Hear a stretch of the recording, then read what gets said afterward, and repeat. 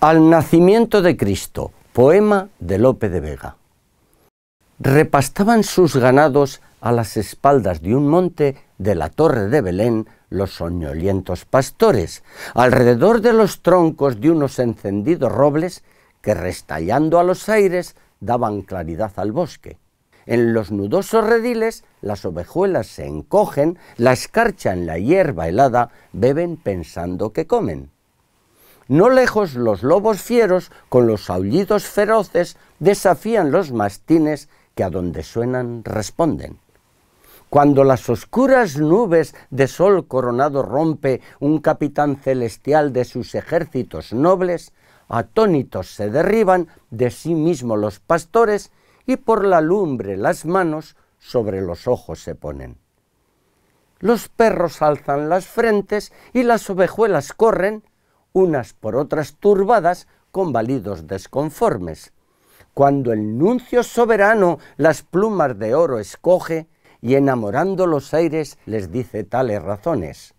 Gloria a Dios en las alturas, paz en la tierra a los hombres. Dios ha nacido en Belén en esta dichosa noche.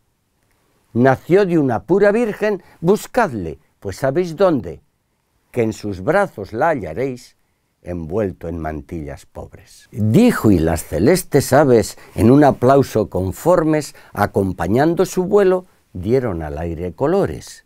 Los pastores, convocando con dulces y alegres voces, toda la sierra derriban palmas y laureles nobles. Ramos en las manos llevan y coronados de flores, por la nieve forman sendas, cantando alegres canciones llegan al portal dichoso y aunque juntos le coronen racimos de serafines, quieren que laurel le adorne. La pura y hermosa Virgen hallan diciéndole amores al niño recién nacido que hombre y Dios tienen por nombre. El santo viejo los lleva a donde los pies le adoren, que por las cortas mantillas los mostraba el niño entonces.